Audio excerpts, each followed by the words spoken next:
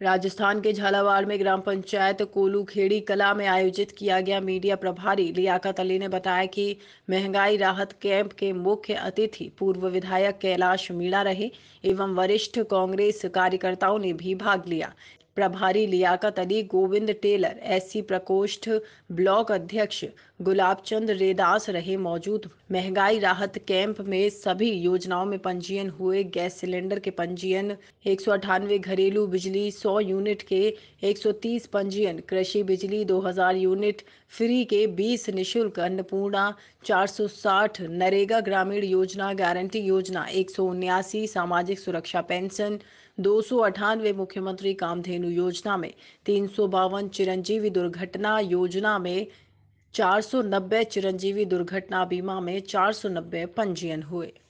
आम उपभोक्ताओं को 100 यूनिट बिजली आज से फ्री दी जाएगी।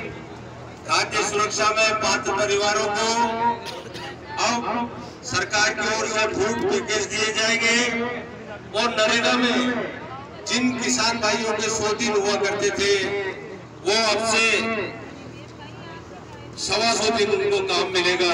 साथ ही एक सबसे बड़ी जो हमारे गरीबों, वृद्धों, विकलांगों के लिए जो राजस्थान सरकार ने मेहरबानी की है, वो ये है कि आप जिन्हें साढ़े सात सौ रुपए पेंशन के मिला करते थे, अब आपको एक हज़ार रुपए मिला करेंगे।